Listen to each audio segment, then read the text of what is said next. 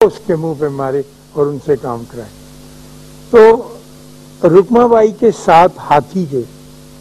तो एक हाथी को अबाउट सेवन टन का ऊँचा बड़ा। मैं बहादुरी के साथ उसके सामने खड़ा तो हो गया देखने के लिए। लेकिन जब वो हाथी झूला और आगे को उसने अपना आवाज़ तो फिर मैं डर गया और बहुत दूर काफ़ी भाग गया।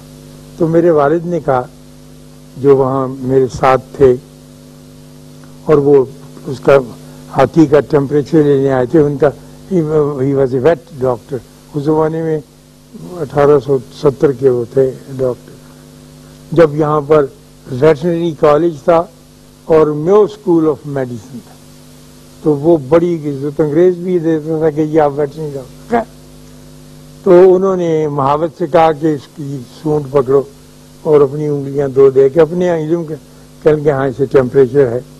और मैं तुम्हें इसकी दवाई दे तो मैं सोचने लगा, हाथी की दवाई की यानी हाथी को एस्प्रीन देनी पड़ जाए तो बाल्टी में ही देंगे, ये, खैर।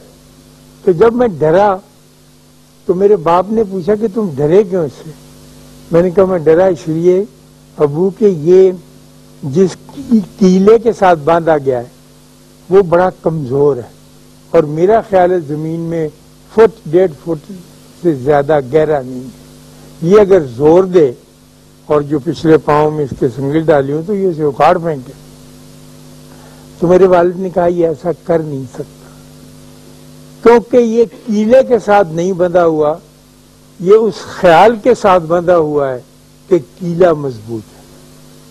अगर ये अपने ख्याल में तब्दीली लाए तो फिर अलबत्ता, डॉक्टर साहब, वो यकीन इसको उखाड़ेगा। मैंने कहा, अब भाई, ये करते कैसे कहा कि जब ये छोटा था तो इसको इस कीले के साथ बांधा गया। इसने पूरा ज़ोर लगाया, पूरी ताकत आजमाई की, लेकिन नहीं उखाड़ सका। इस जद्दोजहद में इसके तकरीबन पाँच, छह, सात महीने गुजरे। फिर इसने फैसला कर लिया कि ये ख्याल है जो ये ताकत है जो मुझसे नहीं निकलती तो अगर इस सात टन के हाथी में ये ख्याल पैदा हो जाए कि नहीं, मैं इससे ज़्यादा ताकतवर तो यकीन उखाड़ लेगा। लेकिन निकल नहीं सके वो तो बात जब की थी।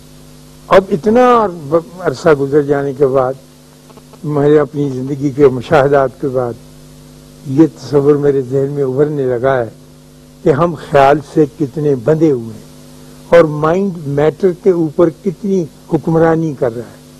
अगर माइंड जो है, वो ताकतवर हो तो आपका जिस्म जो है, वो आपकी मर्ज़ी के मुताबिक अमल करने लगेगा लेकिन आप कहते हैं, मैं सिगरेट छोड़ नहीं सकता। सिगरेट छोड़ना कोई मुश्किल बात नहीं। एक ख्याल ने बांधा हुआ है आपको इस बात की मैं अपनी, एक निवासी से कह रहा था कि तू ना लड़ाया कर अपनी सस कल की नहीं मैं सस के साथ लड़ने से रह नहीं सकती। मेरी नाना ख्याल ये है कि बस ये बड़ी कमीनी औरत है। तो मैंने कहा, तू ख्याल के साथ बंधी हुई है, सास के साथ बंध के देख, बड़ा मज़ा आएगा. उसने कहा, दफ़ा दूर मैं नहीं बनती. ज़िंदगी में और जितने भी मसाइल हैं, वो ऐसे ही हैं। आप मुझसे